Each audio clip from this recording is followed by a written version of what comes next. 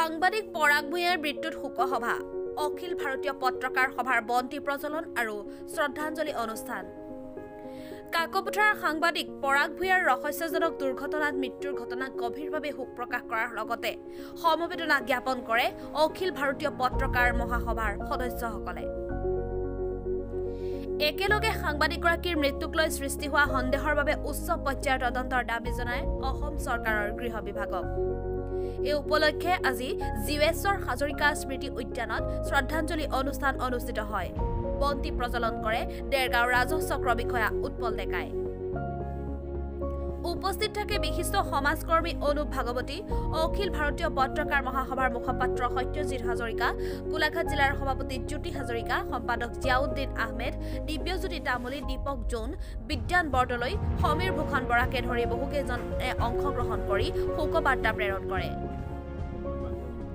উক্ত হত্যাকাণ্ডটো C B আই তদন্ত কৰি হত্যাকাৰীক দৃষ্টান্তমূলক শাস্তি দিয়াৰ লগতে সাংবাদিকক নিৰাপত্তাৰ দাবী উত্থাপন কৰে। এতিয়া প্ৰমুখ কৰি সকলোলৈকে মোৰ দীপাৱলীৰ শুভেচ্ছা জ্ঞাপন কৰিছোঁ। আমি আজি ইয়াত উপস্থিত হৈছোঁ আমাৰ সাংবাদিক বন্ধু প্ৰয়াত পৰাগ ভূঞাৰ সোঁৱৰণিত আমি অখিল ভাৰতীয় পত্ৰকাৰ মহাসভা ইয়াত দেৰগাঁও দীপাৱলীৰ পোহৰ দিনৰ দিনা আমি বন্তি প্ৰজ্বলন কৰিছোঁ। আজি বন্তি প্ৰজ্বলক উৎপল ডেকা ডাঙৰীয়াক উক্ত অনুষ্ঠানৰ লগত সংগতি ৰাখি দৰ্শমান বক্তব্য আগবঢ়াব নোৱাৰে। উপস্থিত হৈ আমাৰ অখিল ভাৰতীয় পত্ৰকাৰ মহাসভাই আমাৰ পৰাগ ভূঞাদেৱৰ আকস্মিক মৃত্যুৰ বাবে তেখেতৰ হৈ এগছি বন্তি জ্বলাইছে শ্ৰদ্ধাঞ্জলি জনাইছে। ইয়াৰ কাৰণে তেখেতসকলক মই ভাল পাইছোঁ বিশেষকৈ তেখেতসকলে কাৰ্যসূচীৰ বাবে। ধন্যবাদ জনাইছোঁ। বিশেষ নকওঁ গতিকে তেখেতৰ এই আত্মাৰ এই আকস্মিক যি মৃত্যু হ'ল মৃত্যু খবৰটো পাই আমাৰো হেৰি লাগিছে। গতিকে এই কাৰ্যসূচীলৈ তেখেতৰ বহুত ভাল কাৰ্যসূচী লৈছে বুলি মোৰ ভাৱ হৈছে ধন্যবাদ। জ্ঞাপন কৰিছোঁ। ইয়াত উপস্থিত থকা আমাৰ এছ ডি চি মহোদয় আৰু মোৰ ভাতৃপ্ৰতিম সকলোৱে যে মই পৰাগ কুমাৰ ভূঞাৰ মানে আকস্মিক যিটো মৃত্যু তো একচুৱেলি আমিও হত্যা প্ৰতিহিংসাটো ভাল নাপাওঁ। তাৰ মাজতে মই এটা কথা কওঁ যেতিয়া এটা জুডিচিয়েল বস্তুটোত গুচি গ'ল তাত মই কমেণ্ট দিব নোৱাৰোঁ।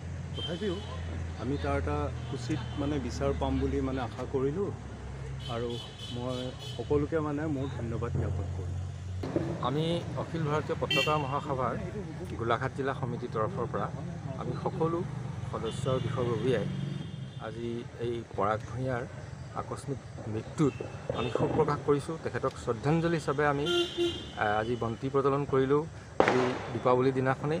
আৰু আজি দীপাৱলী সকলোকে মই আন্তৰিক শুভেচ্ছা জ্ঞাপন কৰিছোঁ।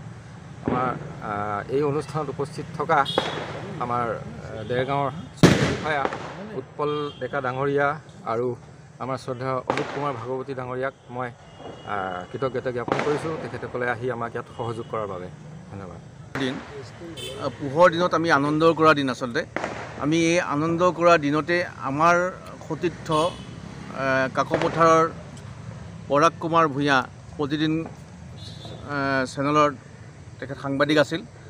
দুৰ্ভাগ্যজনক বশতঃ তেখেতৰ এক দুৰ্ঘটনাই হওক বা পৰিকল্পিত হত্যাই হওক মানে তেখেতৰ মৃত্যু হ'বলগীয়া হ'ল দীপাৱলীৰ আগমুহূৰ্তত আমি তেখেতৰ মৃত্যুত শোক প্ৰকাশ কৰিছোঁ অখিল ভাৰতীয় পত্ৰকাৰ মহাসভাই। আৰু আমি আশা কৰিছোঁ যদি যদিহে তেখেতৰ কোনোবাই হত্যা কৰি মৃত্যুৰ মুখলৈ ঠেলি দিছে তেতিয়াহ'লে অসম চৰকাৰে এই এটা উচিত তদন্ত হ'ব লাগে আৰু চি বি আই তদন্ত হ'ব লাগে বুলি আমি অখিল ভাৰতীয় পত্ৰকাৰ মহাসভাৰ তৰফৰ পৰা চৰকাৰলৈ অনুৰোধ থাকিল। ডেৰগাঁৱৰ পৰা নিৰঞ্জন দাসৰ ৰিপৰ্ট দৈনিক টাইম।